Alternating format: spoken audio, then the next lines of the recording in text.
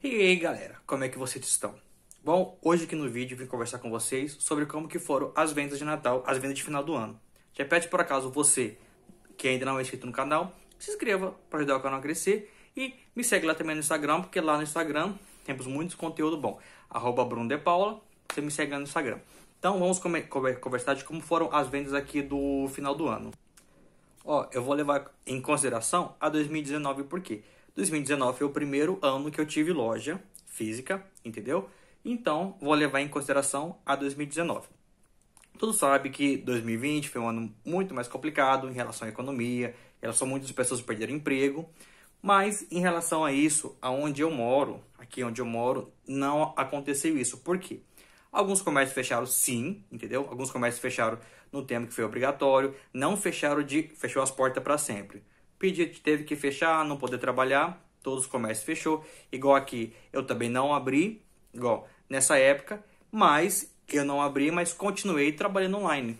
Divulgava todos os meus produtos, comprava bastante produto em promoção, divulgava muita coisa em promoção. Então, por esse fato de eu não ter abrido as portas, mais trabalhei online, igual muitos outros lugares. Aqui na minha cidade não, não teve o problema, ah, uma pessoa foi mandada embora, outra foi mandada embora, a empresa se fechou, não. Porque aqui é interior, aqui tem usinas, usinas é, em, em, volta aqui, entendeu? Que são coisas que movimentam a cidade. Usina tem, tem, o, tem laranja, tem usina de açúcar, de cana e açúcar, entendeu? Algo que é açúcar, né? Mais fácil assim. Então, por essa parte, não teve o o que muitos lugares teve em relação à perca de emprego, a dificuldade e tudo mais. E contando com tudo isso, as minhas vendas nesse período, antes de chegar no Natal, nesse período deu uma melhorada, melhorada porque muitas pessoas solicitou auxílio, pegou auxílio, então muitas pessoas que não trabalhavam, que só ficavam em casa, que não tinha outra renda a não ser igual, vamos colocar mulheres que tinham esposa em casa que trabalhava, pegou auxílio, então isso movimentou um pouquinho mais o comércio aqui de onde eu moro, principalmente comigo. Por quê? Muitas pessoas vieram comprar, pagavam à vista, clientes que compravam de mim a prazo, com isso começou a vir comprar à vista porque já tinha dinheiro. Então, nesse tempo aí, foi um pouquinho melhor, porque igual, fechou tudo, mas porém, de acordo, com esse auxílio que o governo deu, deu uma melhorada bastante nas vendas, porque igual, a hora que fechou tudo, pensei, bom, vai dificultar as vendas, não vou conseguir vender e tudo mais, tal, tal. Mas não foi assim igual eu planejei. Foi muito melhor do que eu esperava. E foi o tempo foi passando, passando, passando. Chegou lá para outubro e novembro, as vendas sim. As vendas deu uma diminuída bastante, bastante, bastante mesmo. O que eu vendi nos outros meses, o, eu acho que compensou o que ficou a novembro e dezembro sem vender. O que eu não vendi os outros meses, o que eu vendi os outros meses, novembro, dezembro, oh, perdão, outubro e novembro deu uma caída muito grande, foi meio que compensado pelo tanto que eu vendi, então ficou daquela, elas por elas. E como que foi dezembro? Dezembro para mim foi assim. Primeira e segunda semana de dezembro, eu tinha montado muitos kits, feito muitas coisas e pensei, bom, vai vender muito, muito, muito, muito. Primeira, primeira e segunda semana para mim de dezembro foi muito, muito, mas muito parada, muito ruim, muito ruim mesmo. Tinha minhas vendas normais, sim, mas eram poucas, mas não era igual. Eu, eu planejei um dezembro inteiro, eu planejei um dezembro inteiro, e as duas primeiras semanas foi muito ruim, muito ruim, por quê?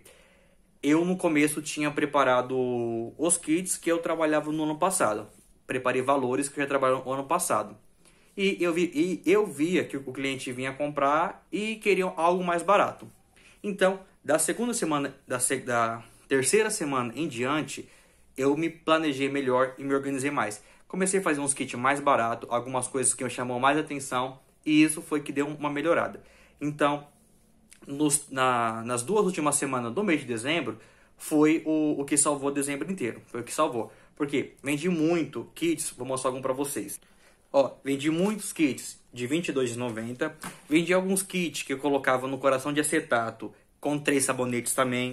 Ó, Vendi bastante kit, kitzinho assim também, ó, de R$ 34,90. Opa, ponta cabeça. De R$ 34,90. Foi o que eu consegui vender bastante, mas claro, cada lugar tem sua realidade.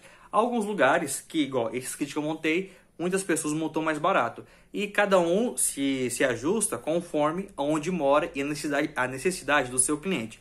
Aqui para mim, até que nesses valores foi mais fácil trabalhar. Vendi muito, muito de kit de R$22,90, kit de, de 15 reais que eu fiz, kit não, o coraçãozinho de acetato com três sabonetes que eu coloquei a 15 reais, vendi também muito, saiu bastante. Na hora que eu divulguei a primeira foto, muita gente pediu, aí acabou, fiz mais, acabou também e fiz mais. Então foi o que o, o, o que salvou praticamente dezembro. Vendi kits caros? Vendi. Também vendi muita, mas muita perfumaria mesmo ao preço cheio. Porque eu foquei nos kits. Eu foquei no, nos kits. Queria que vendesse os kits que eu tinha na loja. Porém, algumas pessoas não que, queriam kit, vinham aqui, queria perfume. Então, vendi muito perfume a preço cheio. Muito mais masculino que feminino. Que normalmente, todo final de ano, eu vendo muito mais perfume feminino do que o masculino. E vendi muito perfume masculino. Todos a preço cheio. Também Vendia preço cheio, o cliente ia pagar, mesmo sendo num cartão parcelado ou no dinheiro, eu dava, igual, no dinheiro eu dava 10% de desconto na compra de, de produtos a preço cheio e no cartão eu dava 5% de desconto, entendeu? O, em produtos a preço cheio. Kids eu não dei desconto nenhum. Kids era esse valor, ele não dava desconto nenhum. Porém, saiu bastante, bastante perfumaria mesmo. Em, em relação a como que foi. Eu me planejei bastante para o mês de dezembro eu tinha uma expectativa, eu não coloquei muita expectativa alta, eu coloquei uma expectativa média, atingiu a, o que eu esperava, eu não esperava muita coisa, eu esperava mesmo em relação do que? Aqui na minha cidade abriu muito comércio nessa pandemia e muitas pessoas começaram a vender, então eu sabia que o, as minhas vendas em comparação ao ano passado ia cair um pouco, porque clientes meus abriram, abriram comércios, então quer dizer, eles também iam vender, também pararam de comprar, porque abriram alguma, algumas coisas similares. Muitos, muitas pessoas que eu conheço aqui começou a vender cosméticos também. Então, o, eu, já, eu já, já tinha em mente que igual o, o meu público iria diminuir. Mas as minhas vendas foi como eu esperei, como eu imaginei. Não foi mais, nem foi menos. Ficou naquela expectativa do que eu imaginei. Ela foi só um pouquinho maior do que o ano passado. Mas, igual, for ver assim, foi em comparação do ano passado para esse, ela caiu em relação ao tanto que eu cresci com as vendas. Mas ficou dentro das minhas, das minhas expectativas, que eu sabia. Decorrente de tudo isso aconteceu, de muitas pessoas abriram um comércio aqui, muitas pessoas começaram a vender aqui, e vender aquilo, vender isso, vender aquilo, eu sabia o que? As minhas vendas iriam diminuir um pouco. E neste Natal, nesse final de ano, foi uma coisa que eu coloquei na minha cabeça que eu vou fazer igual eu vou incrementar algumas coisas aqui na loja que já é do meu segmento, que eu sei que vai vender por, em relação muita procura de clientes, algumas coisas que falam assim, ah, você tem isso, você tem isso, ah, você tem isso, você tem isso.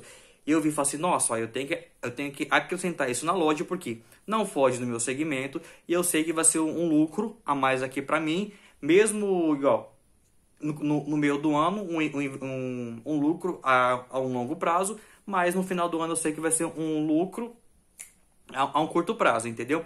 Então, este ano de 2021 eu já tenho algumas metas em que eu quero, que eu quero cumprir, entendeu?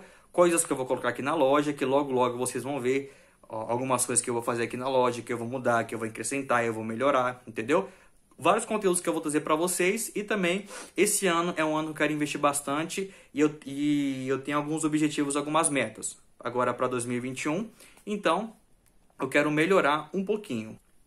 Então, fiquem atentos aqui ao canal, que esse ano você, eu vou, te, vou mostrar para vocês todo o investimento que eu vou fazer, tudo que eu vou aprimorar e melhorar na loja, dicas que eu vou trazer para vocês também do nosso segmento que trabalhamos, que seria interessante agregarmos no, no que trabalhamos, entendeu? Para nós faturar, faturarmos mais do que o do que planejamos. Que tenho alguns também, alguns objetivos que eu quero cumprir esse ano, algumas metas que eu quero cumprir.